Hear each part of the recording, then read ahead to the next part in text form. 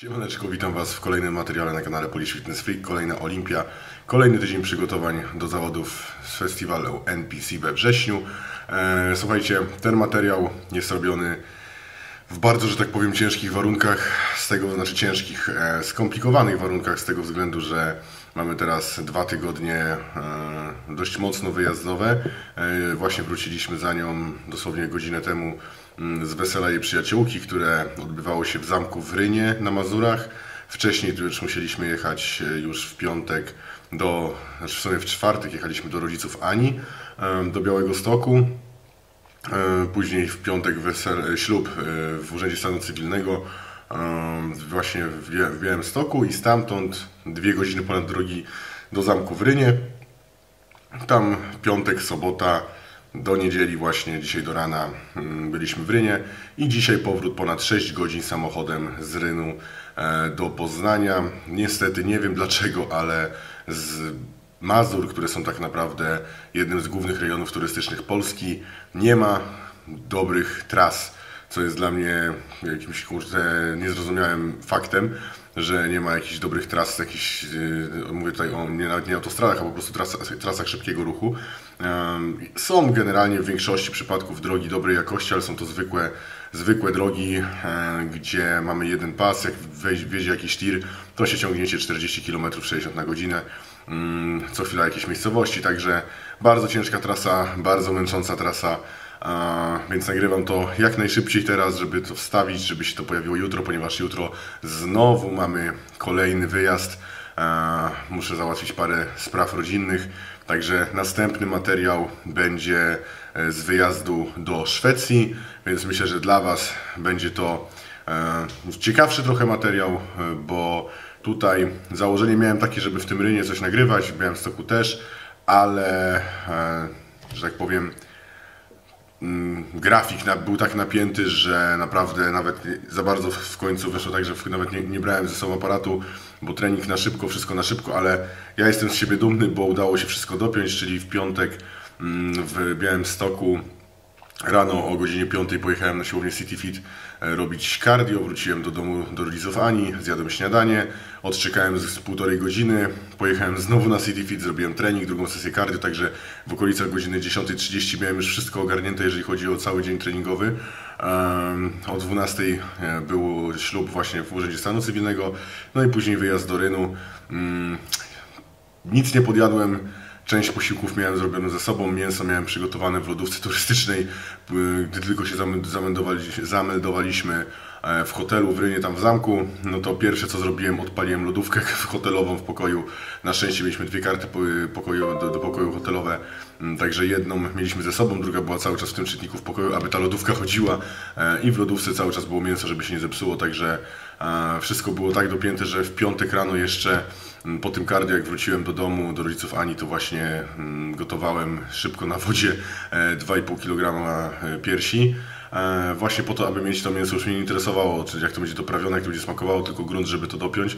E, Także najprostszymi metodami, najszybszym tempem, zamiast e, ryżu, wafle ryżowe, żeby po prostu było mniej gotowania e, i żeby łatwiej było to zabrać bo wiadomo, że mięso wytrzyma w lodówce dwa dni, ale jedzenie ryżu takiego nawet po jednym dniu no, do najmniejszych nie, już się nie zalicza, a wafle wiadomo bardzo mm, taka wygodna y, wersja węglowodanów. Oczywiście masło migdałowe zabrane ze sobą, e, aby uzupełniać tłuszcze tam, gdzie powinny być uzupełniane. Omlety na śniadanie zrobione, ponieważ dzwoniłem przed e, weselem do e, tego zamku. Mówiłem jaka jest sytuacja, czy po prostu, czy, znaczy nie opowiadałem swojej historii, ale zapytałem, czy na ob, obfitym śniadaniu i obfitej kolacji, bo tak to było opisane e, w formie szwedzkiego bufetu, czy będą same zwykłe jajka. Pani mi tego nie mogła zagwarantować. Mówiła, że są jakieś jajka w majonezie, inne tego typu rzeczy, ale że samych jajek na twardo czy na miękko nie wiadomo czy będą, raczej nie. Przez chwilę myślałem, że pójdę może do kucharza i poproszę, e, ale nie oszukujmy się, e, iść do, w hotelu i mówić, że przepraszam, czy mógłby mi Pan ugotować na przykład 15 białek, znaczy 15 jajek i później e, czekać na te jajka i je całe tam rozbrajać, no to nie chciałem robić po prostu przypału na weselu, e, bo to trochę dziwnie by wyglądało dla osób, które tego nie rozumieją. Także przygotowałem sobie po prostu dwa omlety śniadaniowe na sobotę i na niedzielę, e, które były po prostu takie jak zawsze. Jedyne czego tam nie było, to nie było oczywiście owoców, mm, czyli 150 gramów truskawek, e, a tak poza tym no to, to miałem, także jak szedłem za nią na śniadanie, to po prostu brałem w folii aluminiowej swojego omleta, wkładłem go sobie na talerzu i nie było problemu. Mm, także jestem z tego bardzo zadowolony, że udało mi się to wszystko dopiąć. I wszystko się udało. Jeszcze wczoraj, czyli e, w sobotę robiłem trening zgodnie z planem, zgodnie z moim harmonogramem, że tak powiem, e, mięśni dwugłowych, e, gdzie w Rynie mm, nie było siłowni z prawdziwego zdarzenia, tylko sala jakaś tam fitness z 40 kg obciążenia łącznie w talerzach mm, i jedną bieżnią w tym hotelu, także trochę za mało. No ale 20 km czy 25 km od Mm, Rynu znalazłem na Google Mapsach siłownię, która działała cały czas. E, także tam pojechałem, zapłaciłem oczywiście za jednorazowe wejście, ale to już tam mało istotne. E, Odzrobiłem swój trening taki jak miał być, zrobiłem cardio, wróciłem. Później spędziłem czas e, w bardzo fajny sposób z Anią, bo tam mieliśmy trochę czasu wolnego, a tam jest bardzo fajny spa w tym zamku, także troszeczkę relaksu. No i dzisiaj, tak jak wspomniałem wcześniej, dość długi powrót, męczący bardzo, także Dzisiaj nawet się nie będę przepakowywał, jedyne co to brudne ciuchy, które mieliśmy, ja głównie rzeczy potreningowe, których wziąłem trzy komplety, e, no to, to wszystko było brudne, także wszystko do pralki, e, żeby to tylko się wyprało, także czekam aż się pranie skończy. Rozwieszamy to e, i ja powiedziałem, że dzisiaj się już nie pakuję, kładę się spać jak najszybciej, bo jestem padnięty. I jutro wstaję około 4, 4.30, aby rozpocząć ten następny fragment tego magicznego okresu e, tygodniowego w rozjazdach, mm, który no przydarzył się troszeczkę niefortunnie w tym okresie przygotowań, nie oszukujmy się, bo gdyby tych przygotowań nie było, to oczywiście na weselu jadłbym normalnie jak wszyscy, oczywiście napiłbym się alkoholu i tak dalej, mm, a tutaj z uwagi na to, że zostało już tyle czasu, ile zostało, no to trzeba się trzymać, także nie było mowy o żadnych odstępstwach. Tak samo teraz wyjazd do mojej rodziny do Szwecji, też e, już rozmawiałem ze swoim kuzynem, e, siłownie mi tam już jakąś ogarnął, znaczy ogarnął, oczywiście jak pojadę to sam ją ogarnę, ale już tam znalazł u nich w mieście taką e, podobną, jakąś najlepszą, która ma cały, na pewno kompletny sprzęt, która działa przez cały tydzień i tak dalej, i tak dalej, także, także już też pierwsze co zrobię jak przyjadę, to posiedzę z rodziną może godzinę, dwie i jazda na trening, bo swoje trzeba zrobić. Zresztą postaram się, abyście tamten, ten, ten drugi wyjazd mieli obszerniej nagrany. E, no z tego względu, że wiecie, no na weselu trochę nie chciałem kombinować z tym aparatem, żeby nie robić lipy, latać. Tak samo yy, myślałem o tym, aby nagrać w tym hotelu chociażby właśnie całą strefę spa. No ale jak tam zszedłem pierwszego dnia, żeby zobaczyć jak to wygląda, no to trochę nie było nawet miejsca, gdzie tej kamery zostawić, także trochę bez sensu, więc stwierdziłem, dobra, kto będzie chciał, to zobaczy sobie w internecie zdjęcia, jakieś filmiki. Także podsumowując, jeżeli chodzi o hotel w Rynie i cały ten zamek, moja ocena w skali od 1 do 10, miejsce 10 na 10, spa 11 na 10, bo naprawdę mega fajne, e, jedzenie, z tego co mówiła Ania, 5 na 10, duże rozczarowanie, obsługa hotelowa 4 na 10, duże rozczarowanie, pokoje hotelowe 3 na 10, też duże rozczarowanie, może i klimatyczne, ale bez klimatyzacji i ze sprzętem jak lodówka czy suszarka, które pamiętają chyba jeszcze okresy lat 90. Trochę słabo jak na czterogwiazdkowy hotel, w którym płaci się z tego co wiem dość duże pieniądze za to, żeby tam w ogóle spać. Także um, obsługa nawet gdy poprosiłem, czy mogliby mi dzień przed wyjazdem, czy mogliby mi wkłady do lodówki schować do zamrażalnika, abym rano je odebrał na śniadaniu zamrożone.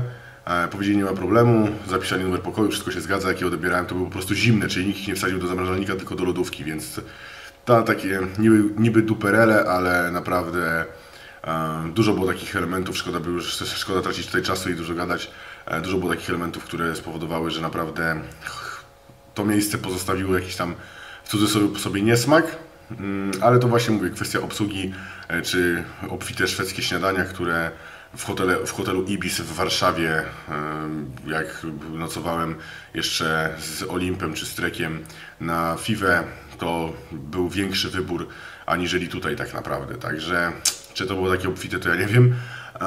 Już nie mówię o sobie, bo wiadomo, że ja jestem w dziwnym okresie, jestem dość specyficznym klientem, czym generalnie osoby tutaj z kręgów kulturystycznych czy fitness są dość specyficznymi klientami dla takich e, ośrodków, mm, ale nawet osoby, które by chciały po prostu tutaj jakoś zdrowie się odżywiać, czy mają jakieś tam swoje problemy e, zdrowotne i nie mogą czegoś jeść, to tutaj miałyby problem, e, bo wszystko było, jeżeli chodzi o jedzenie, e, na przykład obiadowo, na jedno kopyto, wszystko tłuste, mm, z pewnością smakowite, ale tłuste, pieczone, mm, smażone, zero jakichś takich gotowanych rzeczy, jak warzywa to też zalane wszystko olejem, także no średnio, nie? Średnio. Ale mniejsza z tym, dla Was nagrałem e, a propos jedzenia, wcześniej już to co mówiłem, że postaram się nagrać, czyli przed wyjazdem też nagrałem mm, zrobienie mojego śniadania i kolacji, także będziecie mieli dwa przepisy za chwilę, a na koniec na deser pozowanko właśnie dziś, z dzisiejszego poranka niedzielnego w hotelu w Rynie. Także po całym weselu, jak ta forma się prezentuje na dzień dzisiejszy. Gdy wróciłem do domu, waga wynosiła 119 kg dzisiaj, także podejrzewam, że nadcze powinno być ze 117. Mm, no więc 10 kg spadło w przeciągu jakichś dwóch tygodni, czy no powiedzmy trzech, bo ten czas szybko leci. Także no leci to wszystko, zobaczymy kiedy się zatrzyma, bo zawsze miałem tak, że się w końcu zatrzymywało, ale no tak szybko takiej poprawy jeszcze nie miałem, nie pamiętam w swoim życiu, także no jest fajnie, jest fajnie. Także to było wszystko z mojej strony. Zapraszam Was na śniadanie i kolację i na pozowanko. Do następnego. Yo. Ok, moi kochani, także witam Was w mojej kuchni i robimy śniadanie oraz kolację. E, tutaj mam składniki zarówno na pierwszy, jak i na drugi posiłek. Także let's go. Jeżeli chodzi o śniadanie, płatki owsiane, białka, jaj, izolat, e, jajko i truskawki, jeżeli chodzi o kolację, białka jaj, izolat i masło orzechowe. Także składniki bardzo proste.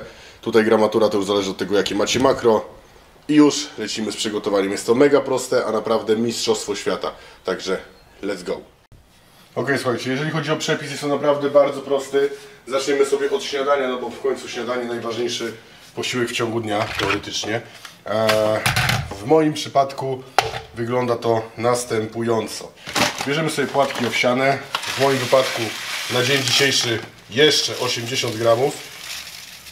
Pewnie w niedalekiej przyszłości się to zmieni, aczkolwiek chciałbym, aby jak najdłużej śniadanie się nie zmieniało, bo naprawdę jest to dla mnie uczta w ciągu dnia. Drugi składnik białka jaj 300 ml. Możecie oczywiście używać zwykłych jajek i wywalać żółtka. To już jest kwestia indywidualna, to jest po prostu wygodniejsze z formy białka. E, kolejna kwestia, tego w sumie nie pokazałem, to do smaku e, z GAT7 Nutrition Flavor Dropsy, oczywiście dostępne na Muscle e, Możecie używać też czegoś innego, ja używałem wcześniej też samej, samej Stevie, ale ostatnio stwierdziłem, że w końcu trzeba użyć tych kropli smakowych. Mogą być candy splashe, co tam chcecie. I do tego jeszcze dochodzi w sumie też, no widzicie, taka głowa w sumie też tego nie, e, nie pokazałem wcześniej, e, dochodzi proszek do pieczenia, żeby nam to jako tako trochę urosło. I dochodzi, słuchajcie, cynamon. Ok, proszek do pieczenia również znaleziony, świat uratowany. Także tutaj dosypujemy sobie na oko. Ja go sypię dość sporo, jak na taką małą ilość.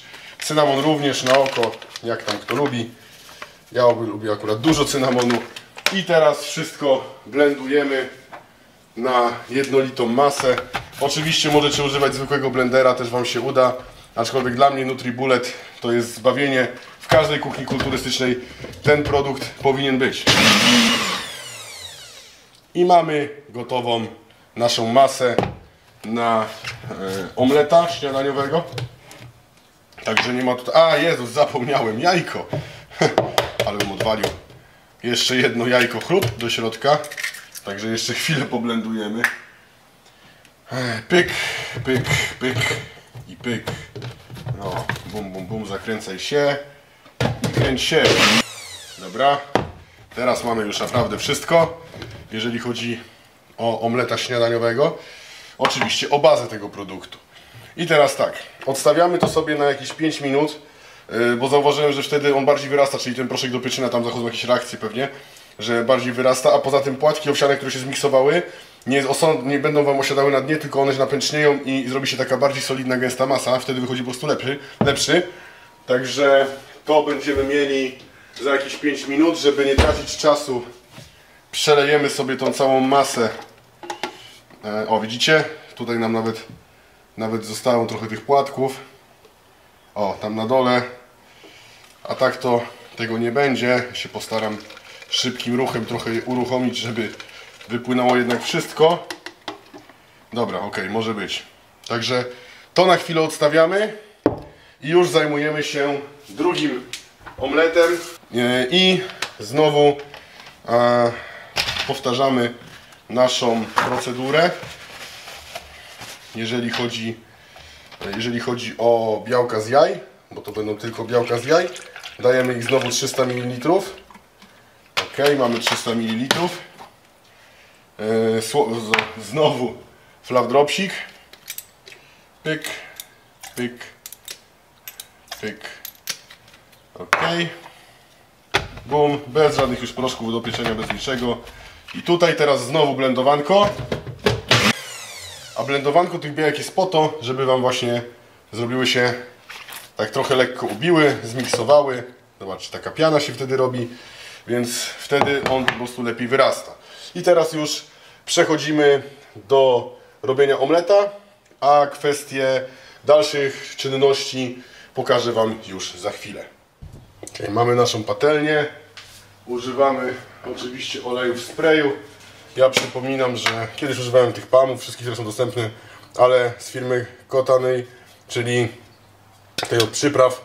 e, W Auchan znalazłem za 15 zł. Słuchajcie, tłuszcz w sprayu to jest dokładnie to samo co te zwykłe pamy, tylko że jest 500 ml. Dwa razy większe opakowanie za tą samą cenę, albo nawet mniejszą w niektórych wypadkach. Także serdecznie polecam. E, chwilkę czekamy, aż to się nagrzeje i wylewamy nasze białka. Dobra, ja zawsze robię tak, że wylewam minimalną ilość na środek, żeby zobaczyć, kiedy to się zacznie ścinać. Także damy jeszcze minimalnie, czy już Dobra, już zaczyna się dziać, także ok. I zobaczcie, ile nam się po chwili zrobiło tej piany. Tak, tu macie całą pianę, to dopiero jest żółtko, znaczy białko. I tak, mieszamy to sobie znowu, wylewamy całość. Patrzcie. O, i ta cała piana też niech nam tu wyleci. Pyk. I teraz my kupujemy zawsze patelnie z Ikei. To są najtańsze patelnie z Ikei, bo stwierdziłem kiedyś, zresztą słuchając Michała Karmowskiego, że czy kupicie drogą patelnię, czy tanią, i tak po pół roku będzie zajechana, więc to nie ma sensu. Także patelnie za dwie dyszki. To jest nasza stara zajechana, a to jest nowa kupiona z dwa tygodnie temu. Ja tej starej nie wyrzuciłem, używam jej jako pokrywki do tej, także przykrywamy, zmniejszamy gaz, czy tam moc, jeżeli macie indukcję, żeby to bardzo powoli sobie dochodziło i za jakieś 5-6 minut wracamy do naszego omleta. Ok, w międzyczasie zrobimy sobie drugą część, znaczy drugą część, takie, wcześniej zrobiliśmy bazę, teraz zrobimy taką fazę główną, która powoduje, że to jest takie mega, jeżeli chodzi o te posiłki, czyli zrobimy sobie polewę do kolacji oraz polewę do śniadania. Do kolacji w moim wypadku 30 gramów masła orzechowego. Ono się powoli już kończy, także widzę, że zostaje nam więcej takiej treści typowej, ale to nic. 27. Kurde, miarka już wokół. 31. Dobra, robimy tak. Pyk, pyk, Ha, nawet wyszło 29. Wolę w tą stronę niż drugą. Dobra, masło odkładamy. Teraz bierzemy nasz izolat. Oczywiście z Maslzona, pamiętajcie, że z innym nie wyjdzie. Nie no, żartuję oczywiście, że wyjdzie, ale ja używam Maslzona, smak czekoladowy. To zresztą wiecie już z ostatniego materiału, jak oglądaliście. A jak nie, to polecam. Eee, 30 30 gramów białeczka, naszego izolatu. Dodajemy do tego minimalną ilość wody. Woda dodana. I teraz, o, i teraz mieszamy sobie to wszystko razem. To masło dokładnie, żeby nam się wymieszało tym białkiem. O, bardzo ładnie. Zobaczcie, jak to pięknie, jak to pięknie i smacznie wygląda. Hopsa, hopsa. To dodanie wody też jest o tyle fajne, że zwiększa nam objętość tego, także robi się troszeczkę więcej tego kremu, można powiedzieć. E, bardzo fajna rzecz, by the way. Także mieszamy, mieszamy. Dobra? Zobaczcie, mamy konsystencję praktycznie takiej nutelli. Dzięki temu. I to jest baza do omleta, jeżeli chodzi o kolację. A teraz zrobimy sobie jeszcze bazę do omleta, jeżeli chodzi o śniadanie. Bierzemy pojemnik z blendera, mój mniejszy pojemniczek i pierwszy składnik truskawki, w moim wypadku aktualnie 150 gramów. Ok, mamy nasze truskawki, przetrzemy tylko rączkę, pyk i znowu izolacik w ilości 30 gramów, pierwszy omlet, także podejrzewam, że już jest grubo, ale dokończymy ten temat. Najpierw pyk, blendujemy bez żadnej wody. Dobra. I znowu oto mamy taki ala, takiego szejka. To będzie nasza polewa do y, porannego omleta. Także lecimy znowu do omletów. Ok, już słyszę, że tu się dzieje. Podnosimy delikatnie. Patrzcie to. Ha, ha, ha. O to nam właśnie chodziło. Żeby tak to, żeby tak to wyglądało. Widzieliście jaki myk? I teraz bierzemy naszą magiczną szpatułkę, specjalnie kupioną właśnie do naleśników omletów. I z tym omletem jest zawsze lekki problem, bo on jest bardzo delikatny, bo nie ma w nim w ogóle mąki. Także trzeba to zrobić bardzo delikatnie. Hop, o, udało się. I zostawiamy to teraz jeszcze na jakieś dosłownie dwie minutki. Też sobie przykryjemy, a co tam. Nastała ta magiczna chwila. Omlet z obu stron już jest chyba ready. Tak jest. No, trochę nam tutaj zaczął skakać na koniec, co by, co by materiał nie był turbo idealny. E, ale i tak go będziemy kroić. Bo oczywiście możecie go sobie położyć na talerzu i zjeść, ale ja go zawsze praktycznie jem poza domem, bo tak pracuję. Także teraz Wam pokażę, jak go przyrządzam, czy jak go przygotowuję pod kątem właśnie mm, pracy. Także to Wam się też może przydać, jeżeli nie macie pomysłu na to. E, pojemniczek, omlecik. I teraz bardzo ważna rzecz, którą trzeba zrobić, to go pokroić. A najprościej zrobić to magicznego narzędzia o nazwie nożyczki. Także bierzemy sobie naszego omleta, który jak widzicie się nam rozpada. Mówię, to jest normalne, bo są same białka. I kroimy go sobie na małe, na małe kawałeczki. Ja go całego pokroję i już do Was wracam.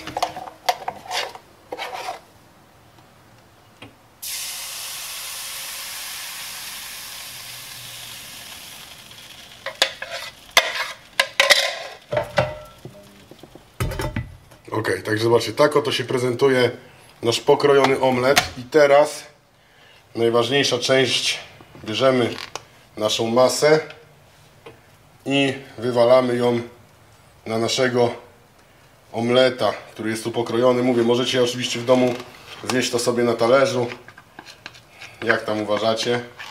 Generalnie to masło orzechowe e, z izolatem, czy w ogóle z białkiem zrobione w ten sposób, moim zdaniem rewelacyjnie zastępuje nutellę. Także jak jesteście na masie, jesteście łasuchami, używacie często właśnie masła orzechowego, kładziecie sobie na kanapkę, czy na wafle, czy coś tam, to Polecam właśnie zrobić to z białkiem, tak jak widzieliście, jak zrobiłem ja.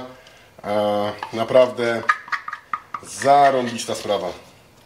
I mówię, jak chcecie więcej objętości, wystarczy też trochę więcej wody. Oczywiście nie za dużo, bo się w pewnym momencie zrobi taka bardziej wodnista kwestia, ale i tak będzie dobra. Także myślę, że to jest dużo lepsze rozwiązanie niż jakieś inne kombinacje. I teraz to jest sztywne, ale pod wpływem temperatury trochę się nam to roz, rozwodni, rozluźni, jakoś tak. Także pierwszą rzecz mamy zrobioną i przechodzimy do drugiego meta. Nastała ta chwila, bum, patrzcie, też wyrosło, no ale już płatki owsiane, no to widać, że wygląda to zupełnie inaczej, jeżeli chodzi o kwestię e, tutaj e, sztywności tego omleta. Także bierzemy go sobie od spodu, tu bez żadnego problemu. Hop, patrzcie jaki kozak. Też go sobie przykryjemy dla zasady I powtarzamy tą samą procedurę. Pojemnik już przygotowany. Oczywiście znowu też możecie go sobie oczywiście zjeść na talerzu, no przecież to nic nie zmienia. Ale ja go sobie szykuję do pracy, także widzimy się za chwilę. Mamy pięknego, sztywnego omleta, który naprawdę dzięki temu, że jest tam proszek do pieczenia, fajnie, fajnie wyrósł. E, I teraz można by go sobie pokroić na szybko, tak? I zabrać do pracy, ale ja lubię tą formę takich małych kawałeczków, także kroimy go tak samo jak tamte. Ok, mamy wszystko. I teraz magiczna kwestia. Nasze truskawy z izolatem zalewamy.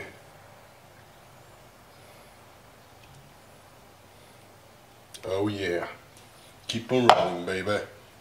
I oto mamy nasz finalny produkt, także już Wam pokazuję, żeby ładnie wyglądało. W końcu to są social media, to musi wszystko wyglądać pięknie. Proszę bardzo. Mamy finalny posiłek numer jeden i ostatni finalny posiłek numer 6. Także moim zdaniem perfekcyjna wersja śniadania, perfekcyjna wersja e, kolacji, jeżeli oczywiście jesteście na redukcji, a jeżeli jesteście na masie, to i tak myślę, że bazy są zajebiste tutaj w tym, bo tu można to na przykład zamienić, zmiksować z bananem, jak macie lepsze, większe makro, na przykład z- na śniadanie, zrobić sobie ciepłego omleta, do tego mrożony banan z izolatem, czy z białkiem zwykłym, wyjdą Wam dosłownie z tego wtedy konsystencja lodów i zjeść na śniadanie omleta z lodami, ciep- ciepłego omleta z zimnymi lodami, petarda. Na kolację to samo, kwestia ilości masła orzechowego, e, tego wszystkiego tutaj, tak samo, jeżeli macie jakieś węgle, możecie dodać właśnie jakichś tam płatków i będziecie mieli wtedy bardziej solidną konsystencję, tak jak tu. Możecie dać jakieś wafle, cokolwiek. To już jest Wasza inwencja, ale baza, moim zdaniem, the best. A na redukcji, Boże, jak to smakuje. Każdego poranka na to czekam. Zresztą w sumie, jak, jak robię je wieczorem zazwyczaj, to już czekam, żeby było po